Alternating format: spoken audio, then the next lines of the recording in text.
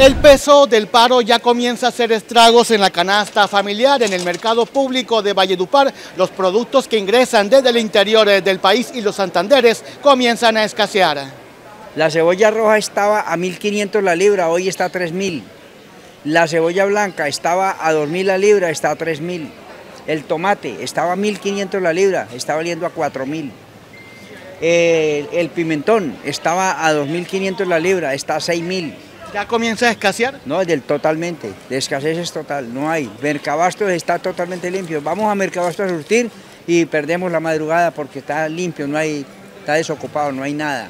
Imagínate un kilo de cebollín, 24 mil pesos para dar, es una exageración. De verdad que estamos eh, bastante mal con el tema de, los precios y además no entró, hoy no entró mercancía, no tenemos mercancía, como te puedes dar cuenta todo está vacío porque no entró mercancía.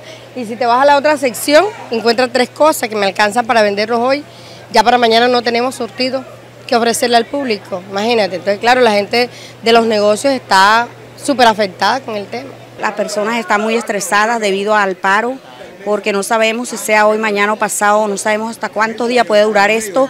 Así que yo le pido a todas las personas aquí en el mercado que tengan paciencia y que todas las personas que vienen a comprar, que traten de comprar y comprar más para que lleven más porque no sabemos hasta cuándo va a ser esto.